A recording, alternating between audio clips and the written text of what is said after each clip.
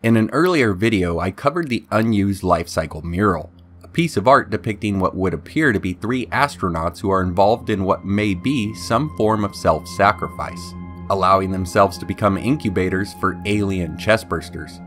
The work in question was created for Alien in 1979, yet when I look at the humanoid figures in the image, especially in its second revision, it's hard not to see similarities between the mural's astronauts and the engineers of Prometheus.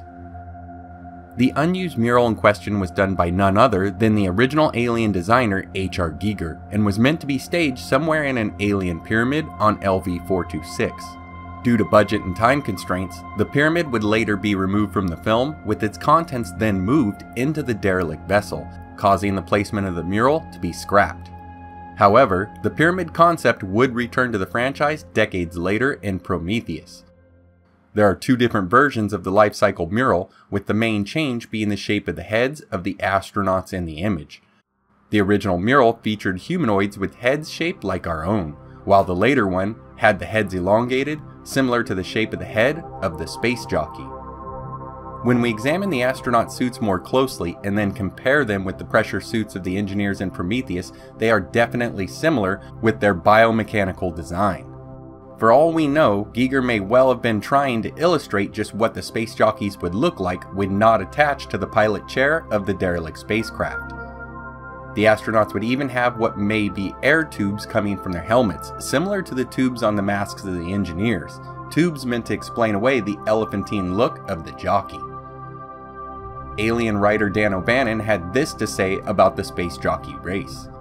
In my script, the pilot was a space going race that landed on the planet and had been wiped out by whatever was there. And now the Earthmen come along and they endanger themselves in the same way. Now, with the eggs moved from the alien pyramid into the derelict itself, the motives of the jockeys become unclear. Did they find the eggs on the moon and load them into the ship? Or did they bring the eggs with them, possibly even creating them?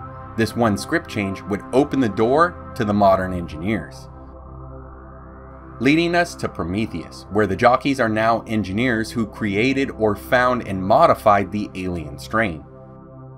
Is it possible then that this idea that the engineers could be the fathers of the xenomorph was over 40 years old and was actually from the mind of H.R. Giger?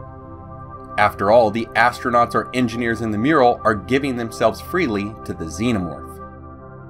Now, much of the prequels are actually from ideas and unused concepts of Alien and its sequels. Yet I wonder if anyone else saw this and thought that the engineers, or in the very least, unseated space jockeys, were around long ago, and that the idea of them either creating, worshipping, or fearing the alien is nothing new.